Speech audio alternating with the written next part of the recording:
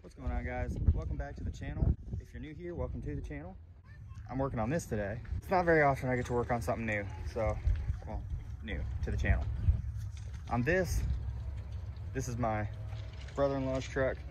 He needs the door panel replaced, or not door panel, but door handle replaced, and I'm gonna be doing that. Just gonna be a real quick video, just showing you how to pop the door panel off and put that new thing in. So let's get to first thing you're gonna wanna do is just pop this off.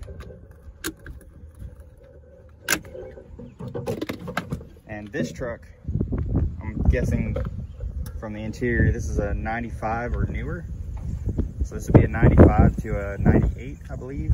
The 94s to the 88s are gonna be your more square dash and more squared off interior.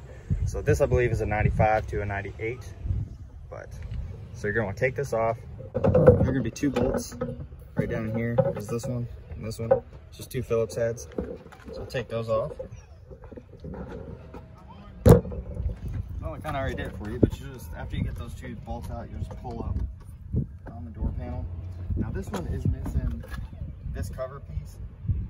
So you would actually take that off first before you take this off.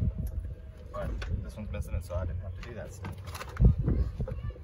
And then by the looks of it, there's just one little hex nut. It's a 5 16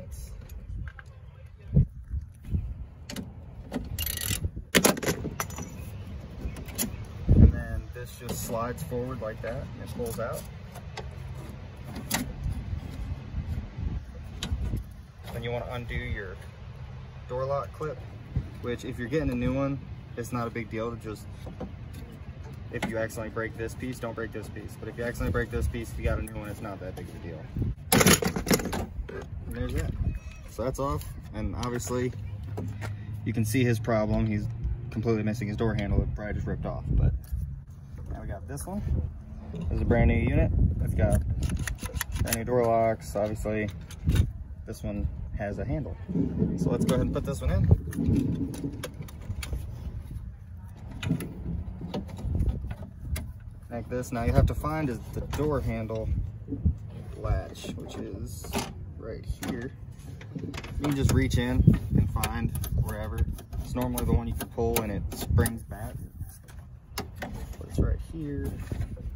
It'll always be in a pretty easy place where you can find it. Make sure that little retainer clip is off. Because if there's a retainer clip on this end piece, you won't be able to get the you won't be able to get it into the new one. So get it, it up and push it in. There we go. Now push it all in, make sure it all lines up.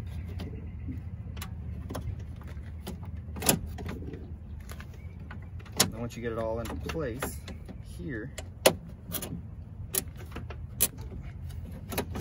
you push that back. You put this bolt back in. All right, so now, now this is in, you don't need to snug it up crazy tight because obviously that's plastic and that'll crack around it. But now that's in, we can go back to putting the door panel back on.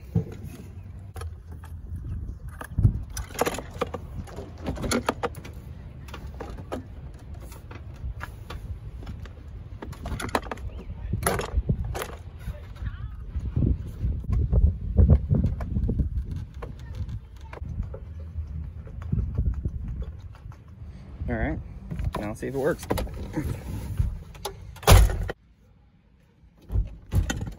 All right, and there it is. New door handle's in. You can now get out without having to roll his window down and use the outside handle.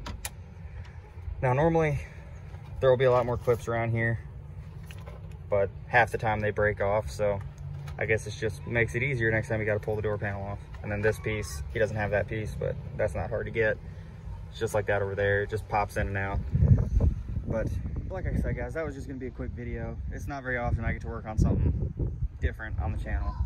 And this won't be out very much. I just figured I'd kind of show you that, make a quick little video about it.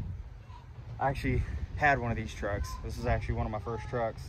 It was a white one, but it was a it was only two-wheel drive and it was a V6. So this was a lot better than my first one. That'll be it for today's video, guys. Thanks for watching. If you have any questions, anything, maybe I didn't show enough, kind of did it quick, but just let me know and uh, leave a comment down below.